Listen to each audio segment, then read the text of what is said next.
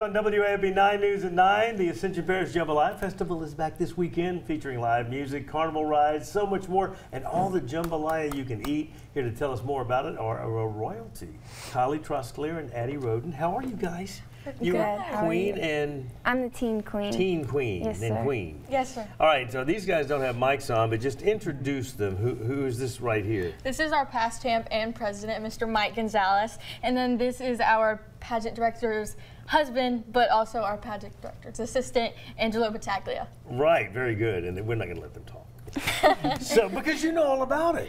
Yes, you know I do. about it. So, when were you crowned? I was crowned on June 10th of 2023. Okay, and you? Same day. Same day, all right. So, what has happened in the course of the year as a representative of the Jambalaya Festival? So we signed a contract basically just agreeing to promote the Jambalaya Festival all year round.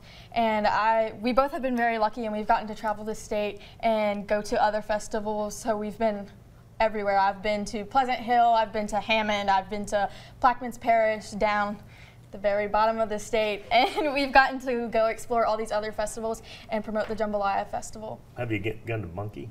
Not a monkey. Oh, okay. What's your uh, experience this past year?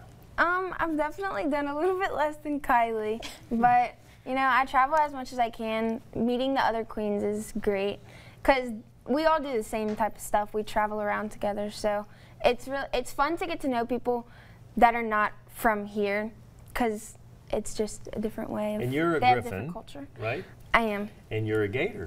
Pass gator. Pass. Oh, congratulations. Thank you. Graduating senior here.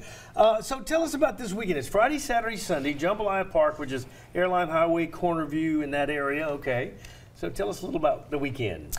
So we're gonna have our jambalaya cook-off. It's gonna be going on all weekend. We'll announce our 2024 champ on the Sunday at, that afternoon at around 6:30, and we're gonna have like the champ of champs. We'll have bands playing the whole time. We'll have rides. Uh, on the Saturday, it's really special for us because we get to invite all our visiting queen friends to come and we do a mini pot cook-off. So hopefully we'll get to judge it this year with everybody. So we're, we're really excited. but we have a car show, we have a fun run. There's so much fun and we just hope to see everybody there. She's covered it all. Anything you want to add? You just come She's on out. got everything. Now she's going to have the visiting queens. Are you going to have the visiting teen queens as well? Yes, sir. They Awesome. they kind of travel together. I mean, we travel together. Yeah. So other um, festivals have like their miss and teens that'll travel together. Fantastic. What's what is the secret to a good jambalaya? You first. We should ask our champ. Well, I we saw I saw a jambalaya in a contest uh, a couple of weeks ago, and it, it tasted good, but it was white. It was what what is that? There has to be like a certain color. We always say that the rice has to look like a Hurley symbol or like we call it hot like dog. a hot dog bun, like Yeah. how it. And it can't be like too orange or it can't Yeah. be too white. It's got to be like a perfect brown golden color. And then you have to have like a tender piece of meat and your rice can't be like dirty. Like it can't look like there's dirt on it. Wha- There's more to this than I thought. Yeah. Yeah. And uh, can you put any kind of meat? Venison? Can you put deer meat in there? If you wanted to, maybe. no? I don't know.